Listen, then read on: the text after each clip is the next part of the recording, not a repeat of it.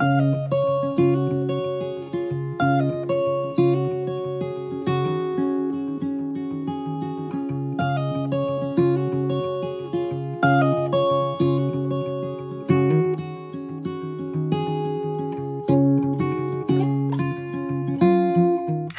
in this lesson I'm going to be showing you how to carve this little Christmas angel and um, this is in mahogany. Now I cut this out on a bandsaw. You could cut it out on a scroll saw if you want. Also there's a little pierced area here which a bandsaw obviously couldn't get into so what I did, did was drill a hole and then insert a scroll saw blade and cut out that little interior area. Uh, if you didn't have a scroll saw, what you could do is just drill a few holes in that area, you know, with a pretty large drill that fills up the area. And then you could just go with a chisel and do the final cleanup. And this is 3 eighths of an inch thick mahogany. And so what I have here, I'm going to be attaching this to a backer board with double-sided tape. And you could use woodworker's tape. Um, you can use carpet tape if it's not, um, you kind of want to test it really to see how it releases. But I also use what's called golf grip tape. And it's what uh, golfers use to wrap around their handles of the golf clubs. And it works really well. I think it's probably the same material as uh, woodworker's tape. But I'm just trying to put this double-sided tape around as many areas as possible, especially the real fragile areas, like the, um, the horn,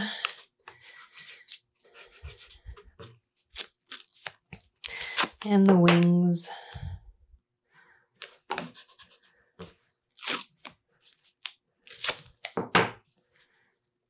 All right, I want to make sure I'm not overlapping because if it overlaps, then it doubles up and makes that section of the tape a little thicker and it doesn't, hold as well.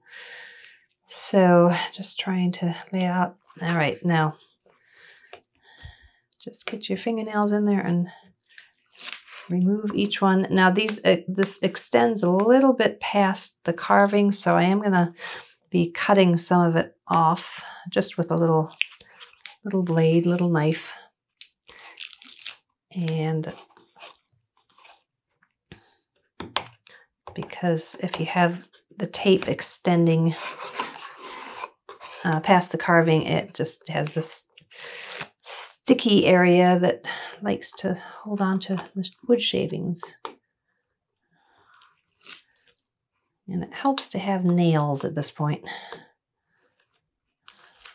All right, so I think I got it in enough places. Uh, you know what? That's making me a little nervous. A little tip of the wing.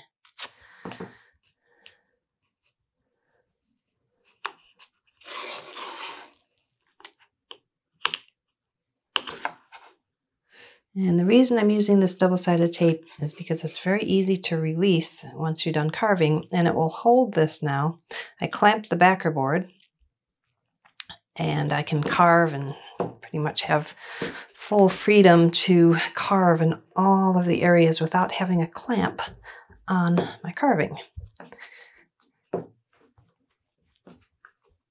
Okay, and you want to make sure it's a pretty even board, pretty flat board, along with a flat carving. If it's not, it'll kind of rock and it won't really hold very tight. Okay, now I'm just going to go along with a little, little carving knife and take any excess tape that's just very obviously sticking out.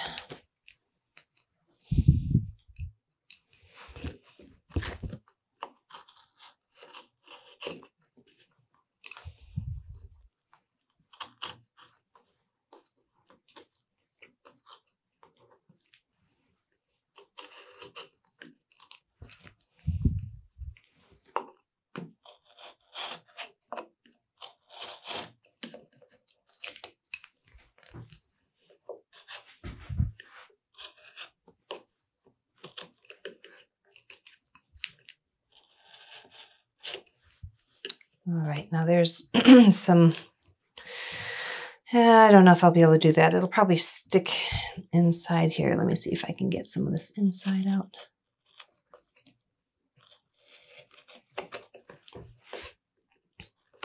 It is distracting when the wood chips stick. So, oh, there we go.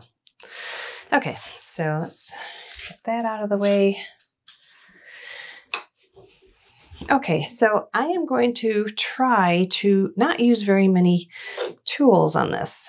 Very minimal amount of tools. And I'm going to show you how to do a lot of this with just the flat chisel, just outlining the, actually the, this part here will be rounded over. And um, so now what I've done, I'm just holding this with uh, bench dogs and um, if you don't have this kind of workbench bench dogs, you can just simply clamp this and it's still out of the way. The clamps are still out of the way of the carving. All right, get my pencil. And so what we've got here, we've got arms there, right? The sleeves kind of going over. Uh, the wing is going to be overlapping the body slightly right there. And then the hair there is going to go kind of behind the wing. Okay, so there's a few little division areas here. And then we've got the horn behind the hand and then also behind the mouth or sort of halfway down. And so what I'm just going to start doing right now, let's just take my V-chisel and I'm going to go ahead and outline some of these areas. Like right here, so that the wing is separated from the head. And then also right here, I'm going to take and just outline it so that the wing slightly overlaps the back. And then there's another little overlapping where the shoulder is going to be above, and then there's a little bit of an overlap there. Okay, and then where right here, for the horn and then this side of the hand. So I'm basically taking the V-chisel on the side of the line that uh, is going to be lowered down. So I'm leaving the line visible, leaving the guidelines so I know what the edges are. And that just, it's kind of like drawing with a V-chisel really. And so it just uh, clears clears things away so that then I can come in here and make a cut like this. This is just a flat chisel and I'm going to really try to use my flat chisel a lot on this. And then go along here. Now this is a really fragile area so I'm just going to very lightly take kind of rock the tool. If I put any pressure on there it's just going to split. All right, and right there. So just to define it, oh, there's another little edge there where the sleeve, the hand is going to go under the sleeve. Okay, and just a little edge there. So what I'm going to do now is I'm going to start to round this over. Now, I quite often use a flat chisel for rounding, and it's just coming like that and just taking off corners and then just taking off more and more and more. So start out with about a 45 degree angle cut. And then you can just reposition it to take another section off and then another another section off here. So just so that if you just make enough small cuts like this, you will get a rounded surface. All right, so now the grain is going in this direction, but right here it's doing a little bit of a switching. I can kind of feel it catching right there. So at that point, I'm going to turn it around and come in this direction. All right, so it really depends on what is happening with the wood that you have, um, where that grain switch is. See, this is a nice sweeping cut, so it's possible that uh, you may not have to change at all, but you just have to go along and kind of feel it. And if you start feeling that it's just starting to catch, just stop, turn it around, and go in the other direction and finish that up.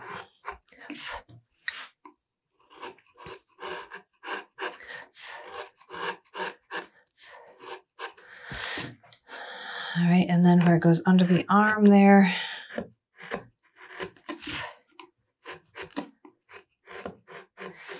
Now notice I'm doing this whole thing with the bevel side down of this um, flat chisel. You could do it bevel side up, but this is actually allowing me to lift it a little higher off the wood. And the tendency is if you do bevel side down, it's going to want to dive into the wood more. And if you do bevel side, sorry, Did I say that right? If you do bevel side up, it's going to want to dive into the wood. But if you do bevel side down, it's going to, um, if anything, it's going to want to skip off the wood, but that's better than taking too much away.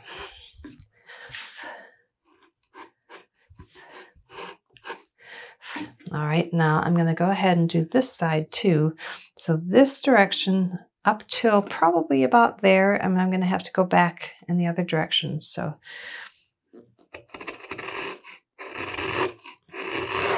So again, that first first cut is more like a 45 degree angle. Now this part here is almost going right across the grain. Again, the grain's going like that. So this is a little harder to carve just because you're going right across the grain. And then it gets a little easier as it comes along here. Now you can use any kind of wood. I just picked this mahogany because I actually had a piece that was the perfect um, thickness. You may want to start with basswood. Very good wood to start out with. Um, but now the difficulty is if you have something very thick, like, you know, even three quarters of an inch or one inch, there's it's just so thick. With this very delicate carving uh, you probably would want to have it thinned down. And if you decided to carve it all down to that thickness that's a lot of wood to remove.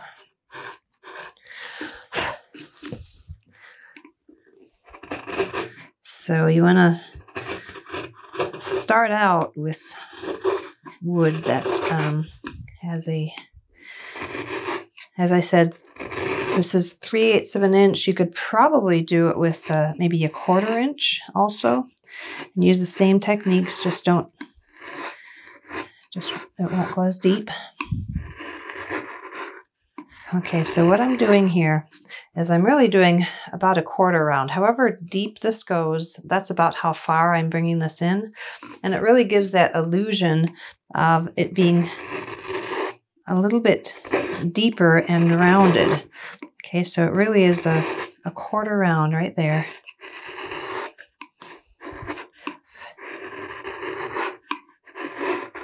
Trying to get all the way down to the background so that that's actually getting rid of the, um, the tool marks. And I don't want to go in that direction because it's just slightly going against the grain and then it's going along the end grain. But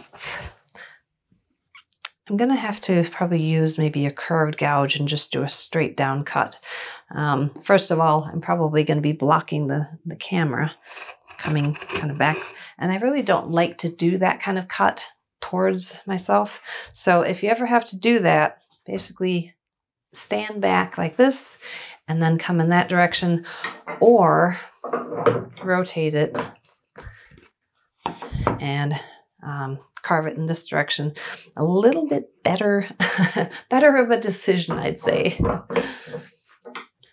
So now come in this direction and because it, certainly it's a much more controlled cut and I can see it a little bit better.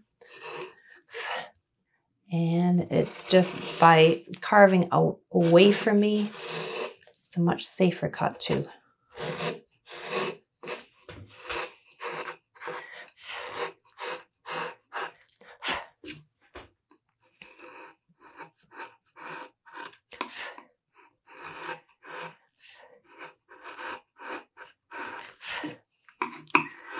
Okay, so now also what I'm going to do, I'm going to go a little bit down here um, and make a little bit of a waist. Just a slight, slight dip right there. So it gives a little bit of shape there.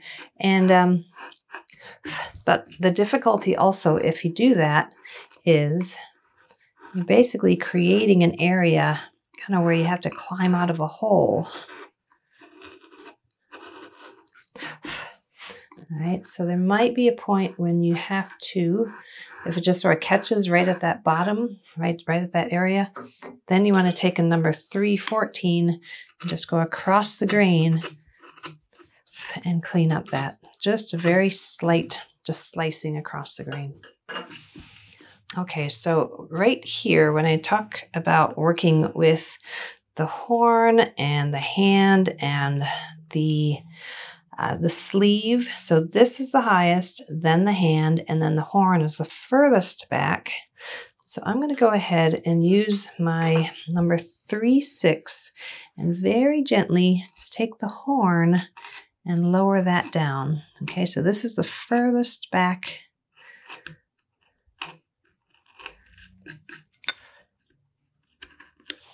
right? And then this is, it's also furthest back here. So you want to make it look like it connects underneath the hand. And I know I'm going to take this deeper than this even. But remember that the horn actually is going to come out at the end of the horn. So be very gent gentle in this and just go kind of take a little bit at a time.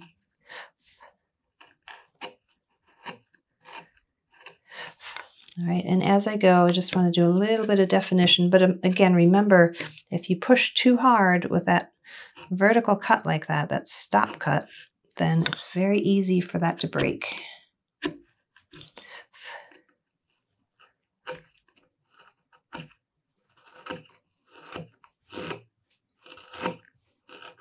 See, I can see it just flexing a little bit. I'm hoping that double-sided tape is going to hold. Because it's not only it's not only fragile just because it's a tiny little area. It's fragile because the grain is going like this and it tends to split along the grain. If it's going to split anywhere, it's going to split along the grain like that.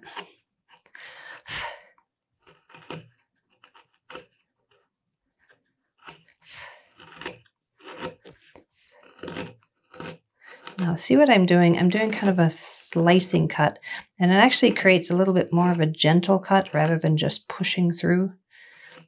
By doing that kind of a twist.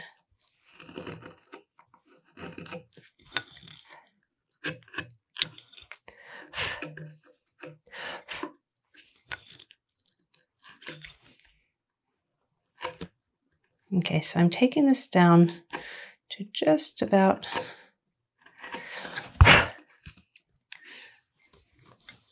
about an eighth of an inch um, left.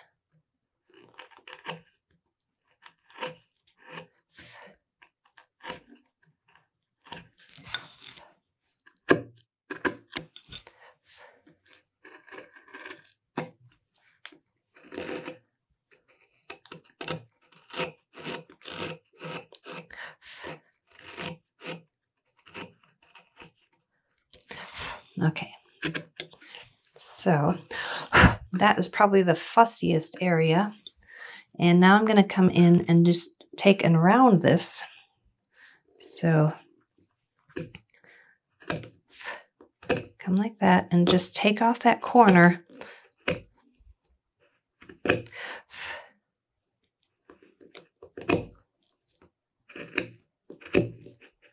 Now the thing is, this is a this pretty hard wood. So as I said, if we wanted to do basswood, it would be a little bit easier to get the tool through the wood.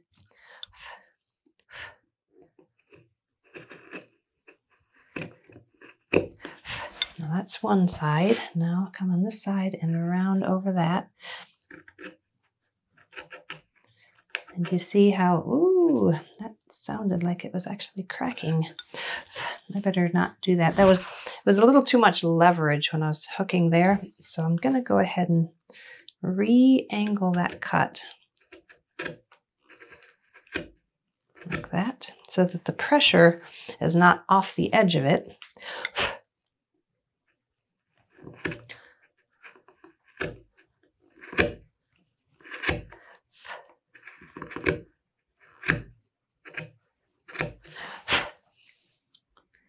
That was just a little too, too fragile.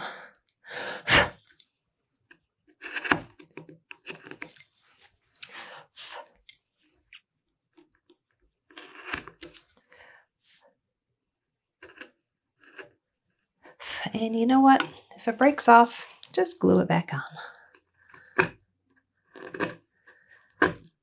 It's not the first time it's been done.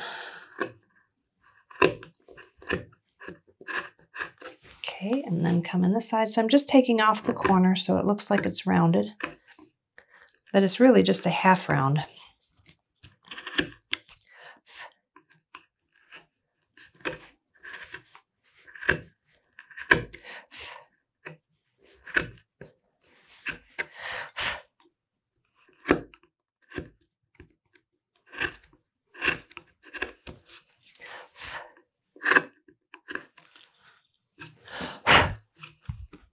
Okay, now I just want to show you what's going on with that.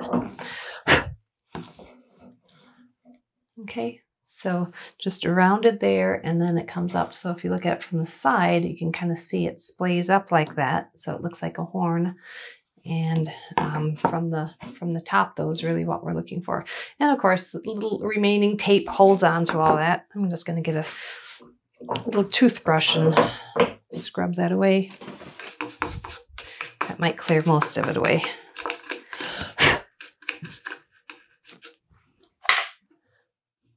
Okay, yeah, that's a little bit better. Okay, so now I'm going to go ahead and work on little hand. And that is also going to be just a little bit below that sleeve.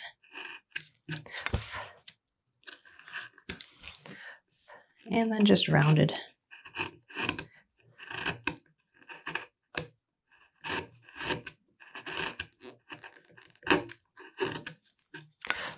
So you can you can get very detailed with this or just leave it as this sort of mittened hand. so that's what I'm going to do.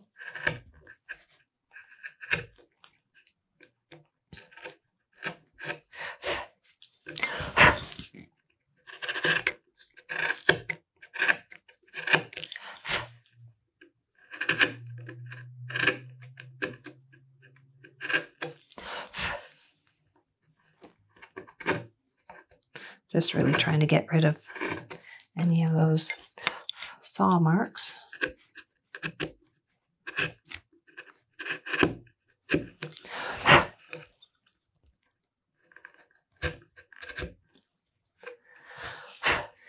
Okay, and then I'm going to go ahead and use this and just out uh, around this over this outer edge of the sleeve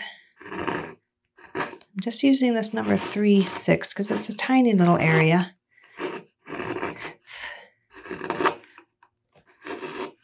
Right there, and then this also is going to be rounded there.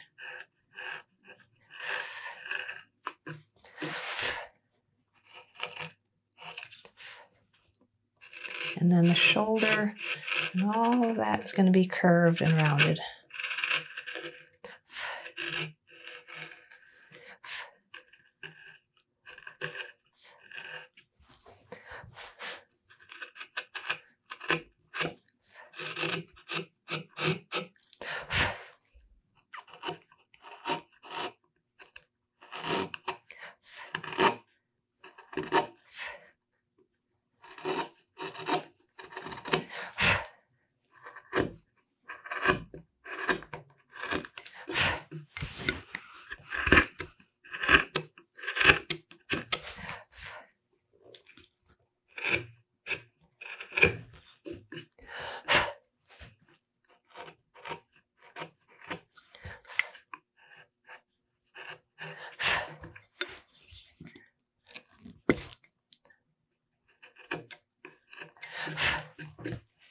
Okay, and now there's a hair hairline there basically where the the hair is going to be kind of flowing there and the face is going to be a little bit lower so i'm just going to go take my v chisel and just outline that.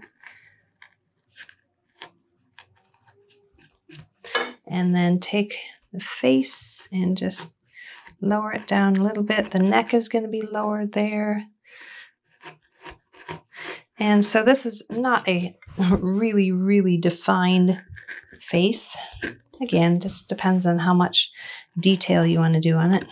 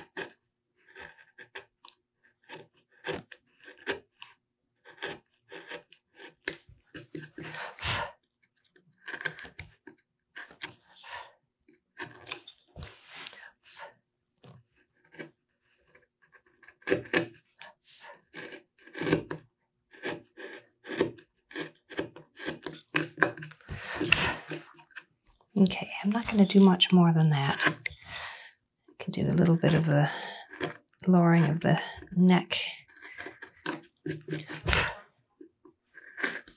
So if the um, if the three six doesn't quite fit into some of these areas, using the number seven six, some of these more curved areas,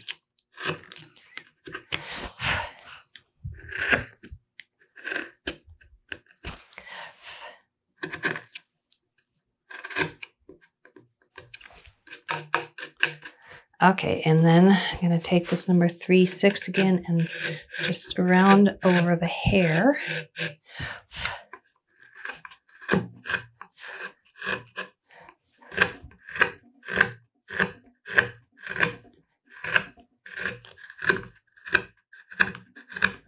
You can kind of break this up a bit so it's not real smooth, right? So you can have it look a little bit more like hair.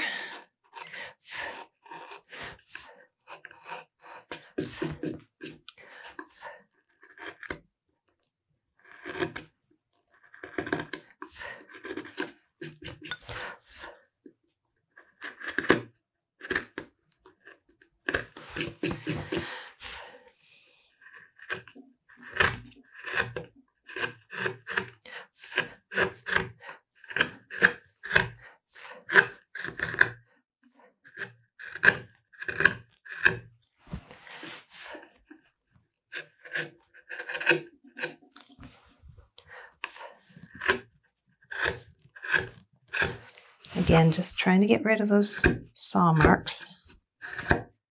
You can go all the way to the back and even do a little bit of an undercut right there if you want.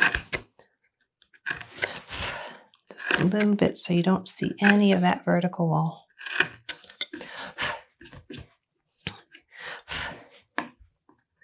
Okay. All right, it's not looking real clean right there. Just going to take that number seven, six, and a little bit more.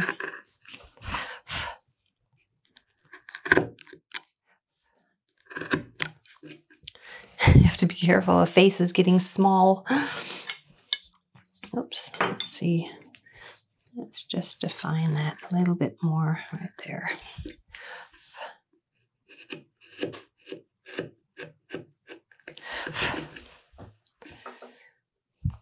Okay, let me just show you what's happening here. Let's get rid of all the little bits.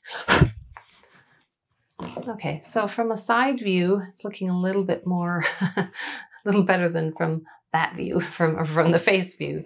It's looking better than the side view. All right, now I'm gonna work on the wings.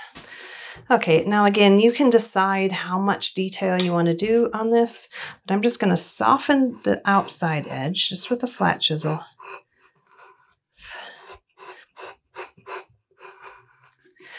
And then there's going to be this area where the grain change changes. So come back in that direction. And it's really just taking that outer edge and softening it. And then starting right there and going in that direction.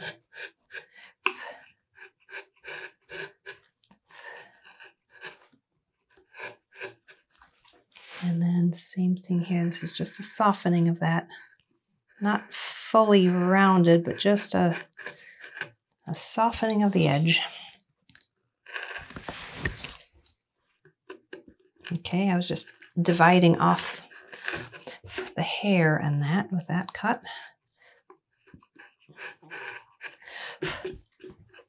Okay, now I think what I'm going to do is do a little bit of a hollow right there. I'm going to leave this edge high though, just a little bit of a hollow. Just to give it some shape. But I'll leave all of the edges the same height.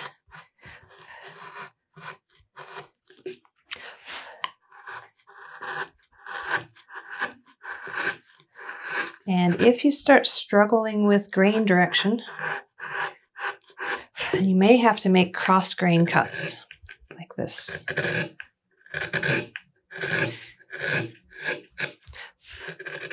The only difficulty with that is there's a tendency to get more tool marks from that.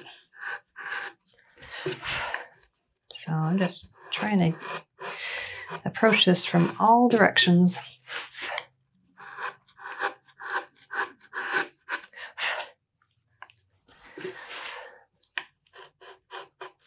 Okay, now you could just leave it like that, have a little bit of a scooping, or I'm just going to do a couple V-cuts, very, very faint, letting it fade off right there.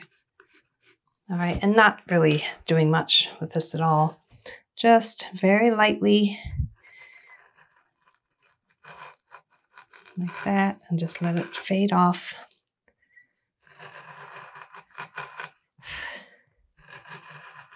Okay, that's pretty much all I think I'm to do.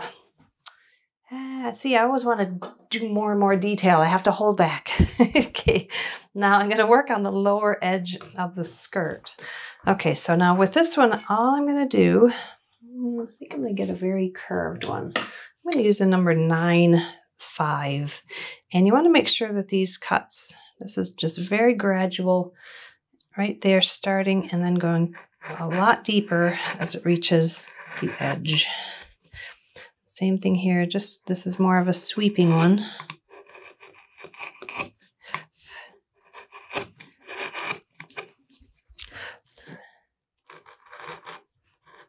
Now this one, notice I started from the outer edge in that direction because um, as you're going across the grain a little bit more as you're ending it, it's there's more of a tendency for that to split. All right, and then just going to fade that. All right, just take those corners off and blend that into that rest of the area.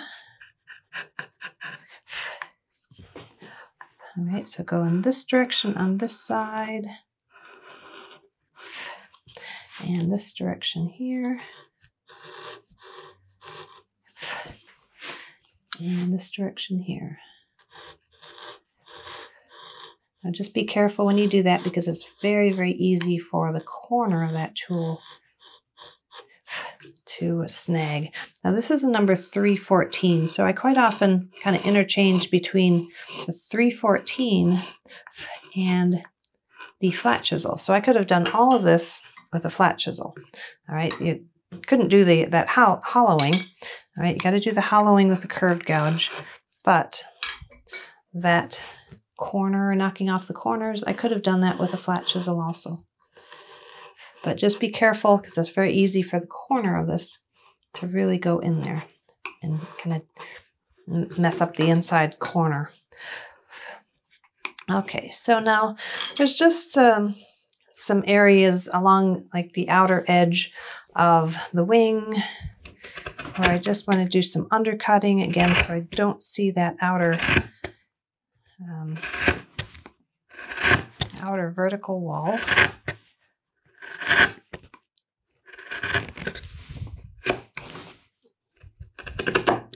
And that's really more just final cleanup. Tell you what, let me turn it around so you can see it. The difficulty is I'm sort of going over the edge of it and it's a little difficult to, to see. So kind of going over the edge, basically starting there and then Just kind of walking along, slight angle down. Now we're getting to a curved area, so I'm going to need to go with this number 314 or possibly even more curved, maybe a number 514 if it just is too, it's not curved enough. Uh, I think it seems to work though. Okay, like that. And then you can come in here and do the same thing on the underside of the wing. Again, it just thins it out a little bit, gives it a little lighter feel. And then also, I'm going to take along the edge here and do that undercutting. So this is the number nine, just to get into those little tight areas. And then the number seven, six.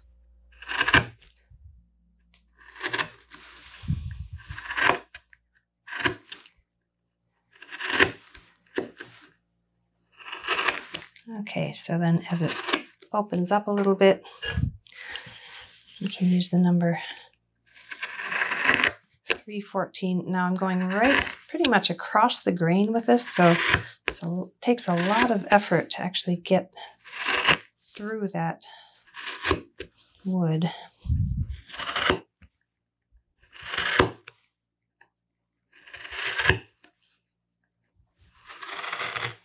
Okay, now I need to be a little careful there. There.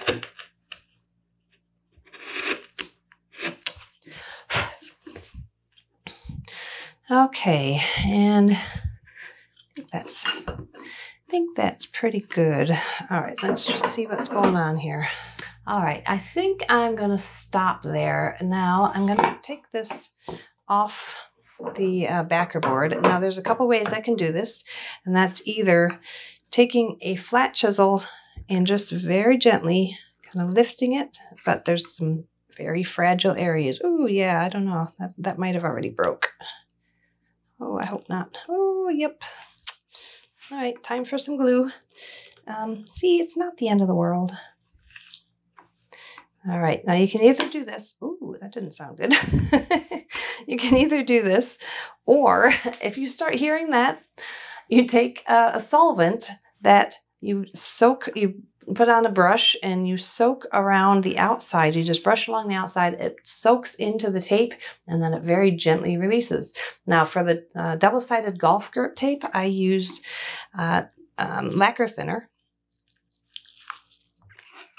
And so um, uh, that was a little, a little scary. And yeah, I think that might have a little tip right there. Yep. All right, so that's when you take you take a little dot of either super glue or regular glue, and there you go. Oh, oh well. take a little dollop of um, glue and there you go. So here, let's just stick that on there like that. So now if you wanted to just to lightly sand across the surface, there's not a lot of real fine details in this. So sanding wouldn't really eliminate any of that. Um, I guess what I really recommend with sanding is don't rely on the sanding. If you rely on sanding um, for, for that final finish, um, it kind of causes you to hold back on getting some really nice carving cuts. So, you know, get as clean as you possibly can with the carving tools. And then if you have to, even if you just want to um, maybe blend this with the, um, the surface that was sort of that plain surface, you can do it like that. Um, and so you can do a lot of things with this. You can paint it if you want. Um, this is mahogany, so it would be be sad to paint mahogany. Um, you can maybe um, do some gold leaf if you've ever done that. Maybe you can even take some gold paint and um, and um, work on it that way. Uh, you can color um, anyway, you can do a lot of things like that. Now I wanted to show you what I actually designed this float for. Now this is a picture frame and this is just something I got from a, a local craft supply store called Michael's. Uh, they've got a bunch of different sizes, but what's kind of neat about this is you can basically take this, glue it on there, maybe do two of them. Um, you can position it however you want. And um, it just, it's just kind of a neat, um, I don't know, a neat de decoration if you wanted to make your own um, picture frame. Uh, you could just have this as a something that was sitting on your mantle. Um, you could do a lot with it. So anyway, I will be back really quickly and I, after I glue this on and we'll actually show you what it looks like complete. I'll be back. Okay, so now um, I glued this back on, just a little regular wood glue. You could use super glue too. One thing you want to be careful if you use super glue on little repairs like that, it tends to uh, affect the finish. So if you're going to be putting a finish on it, it's going to kind of be iffy whether it's going to kind of show up really boldly. Uh, so I use regular wood glue. It's not as, well, it's not as quick. Um, so anyway, I'm not going to touch the horn. um, and so if I very gently sand, and I just used 400 grit sandpaper. I like to use this Mirka Abranet. Uh, it doesn't leave grit, so you do want to be careful if you're sanding and you use the regular sandpaper that leaves grit on it. If you ever decide to carve on it afterwards, uh, it is potentially going to dull your chisels. So you do want to be careful with that. And so just along, maybe roll it up into the inside areas like that, along the outer edges. And actually this is 400 and it's very, very worn 400. So it's probably more like a 600 right now. But uh, I don't want to get anything that's so aggressive that it's going to leave scratch marks because there's just those areas that you kind of have to go across the grain to get into certain areas. Um, and if you use like 50 grit, it'll just leave horrible scratch marks. All right, so I'm not going to even touch that little guy there, but I did want to real quickly um, put some, uh, just put some oil on it. And this is just some simple butcher block oil. Um, I like to use it a lot because um, you know, uh, I have a grandbaby. he's a, just over a year and a half, and he likes to put everything in his mouth. So, um, using something that you actually put on butcher blocks, put on edible surfaces, bowls, that type of thing. So um, I did want to mention another thing. Since this is potentially going to be put on um, this picture frame, if you go like that and if you make sure that the very fragile part is actually glued against the surface of the frame, it saves it. okay, and it kind of, you know, can stick out the edge like that and cover, and you can have two of them, mirror image of it, um, on either side. That would be kind of pretty. But all I'm going to do with this one is put an oil on it, and let's just see what happens. And just a little cloth and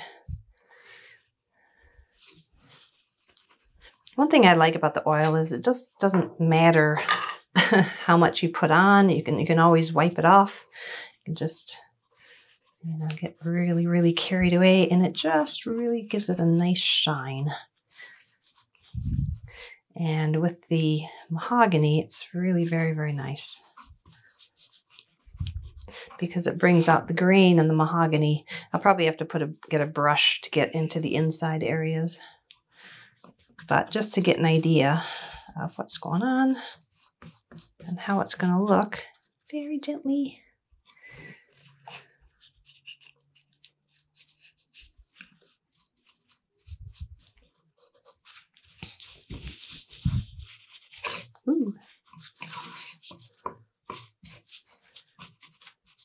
Okay, so put a couple coats of the oil on it and yeah, I'll, I'll work on that a bit more. But anyway, that's uh, that's something you can do uh, to just really, really bring the, the color of the, um, of the grain out and the color of the wood. Okay, so, and I'll just, I'll buff it a little bit. It's kind of messy right now. Oh, see, I'm going to break that horn right off all over again. Okay, all right, yeah, I'm happy with the way that that looks. All right, well, um, so as I said, you can put this up on, you know, on a, glue it up on a mirror frame. You could hang it on a tree. You could make it a Christmas ornament. I'd be really, really careful with that. And you know, I did think about something else. You could actually get one of those little plastic or metal horns, little tiny ones, and you could actually put that in there instead of wood. So yeah, that would be kind of neat. And then you have this gold horn and just, you know, make a little, a little hollow behind the hand and then just glue it in. So it looks like, uh, anyway, find one the right size. Or you can get one really long too. And then you don't have to worry about the fragile nature of it. so anyway, well, thank you for watching that. I hope you enjoyed it and Merry Christmas and happy carving.